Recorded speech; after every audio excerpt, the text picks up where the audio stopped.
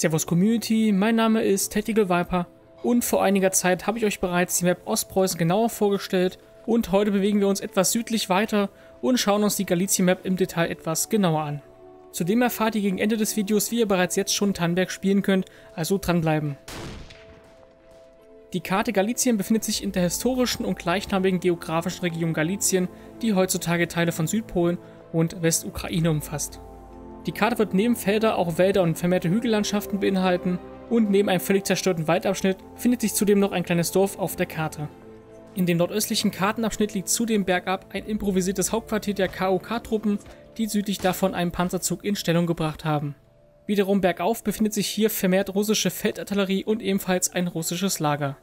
Das Hauptquartier der KOK-Truppen und das russische Lager sind zudem beide Spawnpunkte, sprich zu Beginn der Runde könnt ihr dort auf jeden Fall spawnen. Ich durfte bereits auf der diesjährigen Gamescom einige Minuten auf der neuen Karte verbringen und ich muss sagen, Galizien bietet bislang definitiv die meiste Vielfalt in Sachen Design. Das steile Gelände wird auf jeden Fall noch dazu beitragen, dass interessantere Feuergefechte stattfinden werden auf vertikaler Ebene und der dichte, nahezu zerstörte Wald, der so ein bisschen noch brennt, bietet auf jeden Fall Potenzial für Überraschungsangriffe im dichten Rauch.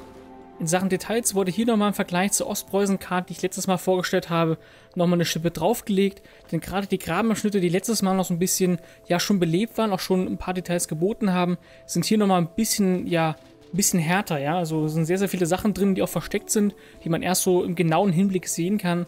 Und das finde ich ganz cool, dass die Entwickler auch da so ein bisschen Wert drauf legen, dass es nicht einfach nur Holzplanken sind, die reingehauen worden sind im Boden, sondern auch wirklich so ein bisschen auch eine kleine Geschichte erzählt. Ja, so ein paar Sachen sieht man da, wo man sich so ein bisschen auch selber was zusammendenken kann. Und das finde ich schon ganz cool, dass man sich auch hier so ein bisschen drauf konzentriert. Das macht das Ganze natürlich noch ein bisschen abwechslungsreicher. Highlight der Karte ist natürlich der österreichisch-ungarische Panzerzug, der allerdings momentan im aktuellen Stand der Entwicklung noch stationär ist, heißt also, der bewegt sich keinen Zentimeter. Allerdings habe ich bereits schon mal gefragt, ob man nicht schon Ideen hatte, dass der Zug sich bewegt, also automatisiert, nicht vom Spieler gesteuert. Und man hat da die Idee, dass der Zug vielleicht ja automatisiert um die Karte drumherum fährt, also einmal im Kreis drumherum und da vielleicht hier und da mal ein bisschen feuert, dass das Ganze noch ein bisschen atmosphärischer wirkt. Aber ob das ins Hausspiel kommen wird, ist es momentan noch fraglich. Man könnte es als Deckung nutzen, die jetzt, wie es momentan ist, ist natürlich ein Deckungsgegenstand. Aber es kann natürlich auch sein, wenn wir Glück haben und das Ganze technisch funktioniert, auch spielerisch irgendwie so ein bisschen ja, Sinn ergibt, dass der Zug eben ja ein bisschen drumherum fährt um die Karte Galizien und da immer mal wieder ein bisschen reinfeuert. Bevor ich euch jetzt aber erkläre, wie ihr Tannberg früher spielen könnt als alle anderen, möchte ich ganz kurz noch auf ein weiteres Feature eingehen, was sich auf jeden Fall ganz, ganz oft in Verdor gewünscht wurde. Viele Spieler wird es sicherlich freuen, dass Tannberg an verschiedenen Objekten einen Durchschlag der Kugel simuliert, heißt also Penetration der Kugeln, also wenn eine Kugel auf ein bestimmtes Objekt trifft, auf ein weiches Objekt momentan in der Entwicklung, also Holz oder Fleisch zum Beispiel, was rumhängt, denn wenn die Kugeln ja das Objekt durchschlagen und eben den Gegner dahinter eben ja treffen. Das heißt also, ihr könnt euch nicht einfach nur in, wie in Verdun noch einfach hinter so einem gammeligen Holzzaun verstecken und einfach warten, bis der Gegner weg ist oder nachladen muss, sondern ihr könnt da wirklich getroffen werden. Ja, also es kann passieren, dass jemand auf den Zaun schießt, weil er weiß, ihr seid dahinter und habt euch verschanzt und dann ja, seid ihr tot, weil, er, weil die Kugel halt genau so abgeschlagen oder durchschlagen wurde, dass es euch genau im Gesicht getroffen hat. Und ja, das ist auf jeden Fall ein tolles neues Feature. Ich freue mich drauf, dass das so kommen wird. Und ebenfalls habe ich auf der Gamescom mit den Entwicklern natürlich auch ein bisschen, ja, hinter den Kulissen geredet, so ein bisschen gequatscht, so was kommt denn so, was habt ihr denn geplant? Und für viele Sachen habe ich da quasi ein Verbot bekommen, euch das zu erzählen, jedenfalls im momentanen Zustand. Das kommt natürlich alles nach und nach in den nächsten Wochen. Aber was ich euch erzählen darf, und zwar exklusiv ist, dass alles, was auch in Tannberg vorkommen wird, ebenfalls auch für Vador umgesetzt wird, jedenfalls in einem gewissen Rahmen. Das heißt also, das Update mit der Grafik kommt ebenfalls auch für Vador und auch Features wie zum Beispiel dass diese Penetration der Kugeln durch Holzobjekte, das kommt ebenfalls ins Spiel vor. Und Sachen wie 64 Spieler Support, da muss man schauen, ob das klappt, wegen ja Trench Warfare und so viele Spieler, das wird vielleicht nicht gut sein. Da überprüft man momentan noch, ob das möglich ist technisch.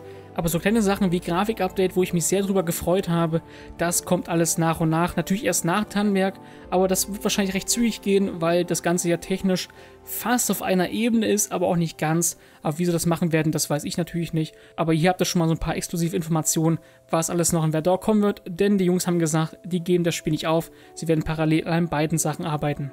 Zum Abschluss des Videos möchte ich kurz noch auf die aktuellen Alpha-Tests hinweisen.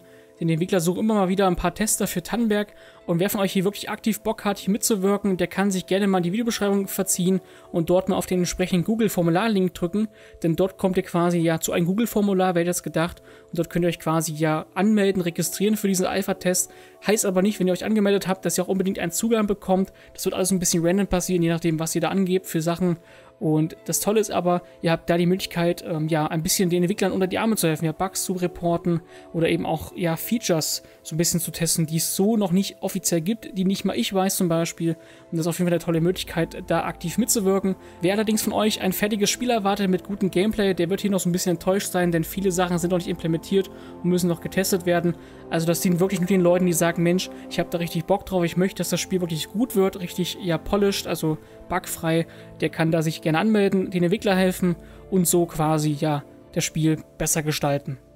Ja, das war's mit dem heutigen Tannenberg-Video. Ich hoffe natürlich, euch hat's wie immer geholfen und gefallen.